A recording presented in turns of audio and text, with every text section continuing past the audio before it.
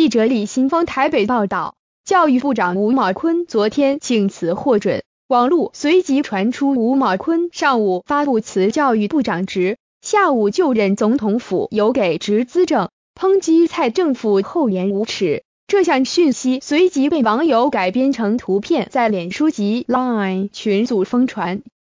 对此，总统府表示根本没有聘任吴茂坤任总统府资政。这是恶意谣言。总统府发言人黄仲彦今天下午表示，类似讯息是来自中国假讯息群组的网络谣言，很好奇部分媒体随之散布的理由。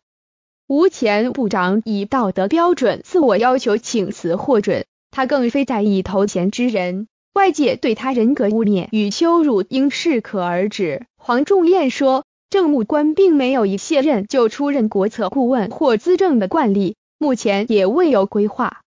至于假讯息称吴前部长将担任有给职资政，更是滑稽，因为资政顾问早就改成无给职了。这种基本常识的谬误，显然为恶意谣言，不应滥传。